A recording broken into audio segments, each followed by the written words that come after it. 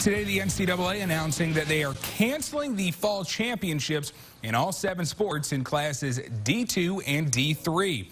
For Division 3, most conferences have already thrown in the towel and are canceling their season, but not the American Rivers Conference. The conference, which contains eight Iowa schools, recently had a vote from the President's Council to go ahead and play fall sports, but with reduced schedules in the fall.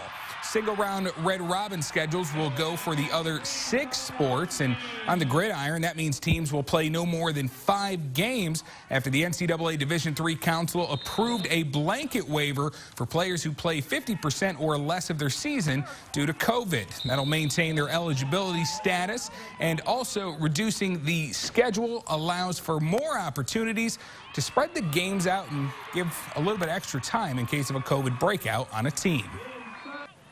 Some of the things that we're looking at is potentially volleyball and soccer, um, you know, one game or match per week. Uh, football spreading out uh, to every other week, um, but uh, just allowing more spacing with that uh, by doing that in conference. And I think all of our administrators in our conference are committed to both offering athletic experiences this fall, but also doing it in as safe a manner as possible.